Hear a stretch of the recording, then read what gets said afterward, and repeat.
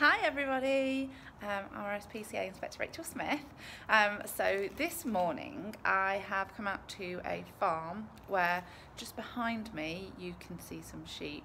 Um, these sheep are absolute monsters. Um, for about six weeks they have been running riot up and down Network Rail and Network Rail have been absolutely amazing. Um, the worry obviously with these sheep that are loose on the railway line is that they were going to get hit by a train. So Network Rail have worked really really hard in basically setting a trap for them. Um, the trap was set a couple of weeks ago and last week thankfully these sheep went into the trap and have now been confined. They are currently resident in um, a nearby farmer's stable. Um, which is not ideal, but you know, they are safe, they are secure, they're not going to get hit by a train, which is great. Today is the big move. They are on their way to a new home. So I'm just waiting for the trailer to arrive. We're going to get them loaded up and then get them off to their new home.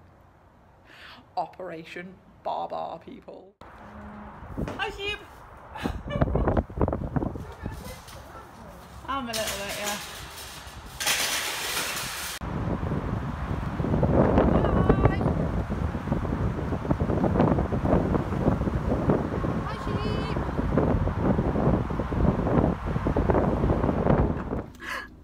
Everybody. Um, Operation Baba stage one complete.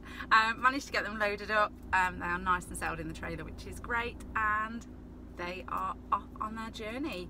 So um, I don't go all the way with them because they are going um, quite far away from where we are at the minute. So um, we'll wait and see and hopefully I will get a call in a few hours from the new owner going, they've arrived, little monsters.